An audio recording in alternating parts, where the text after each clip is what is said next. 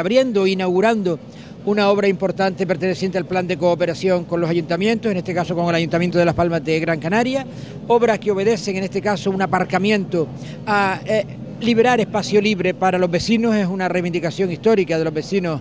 de este barrio y por tanto es nuestra responsabilidad colaborando con el Ayuntamiento de Las Palmas de Gran Canaria, atendiendo este tipo de actuaciones que financia íntegramente el Cabildo de Gran Canaria y que junto a otras actuaciones en esta misma zona como puedan ser obras de saneamiento o alcantarillado, yo creo que atendemos a, una reivindicación, como decía antes, histórica para los vecinos. Por tanto, seguir insistiendo en ese cubrir todas esas necesidades eh, dentro de este plan y de futuros planes y siempre vamos a estar a tener presente eh, todas esas peticiones, todas esas sugerencias que ya sea a través de los vecinos o ya sea a través del propio ayuntamiento, vamos a atender como no podía ser de otra manera.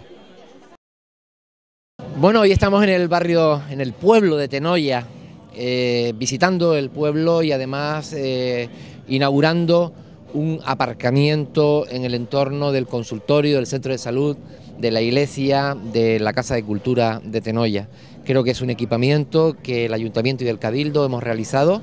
y que con ello satisface una necesidad importantísima para que las personas que vienen a Tenoya, al consultorio, a la iglesia, a la Casa de la Cultura, pues cuenten con un aparcamiento sin duda necesario y estamos muy satisfechos de haber eh, podido celebrar este, este acto.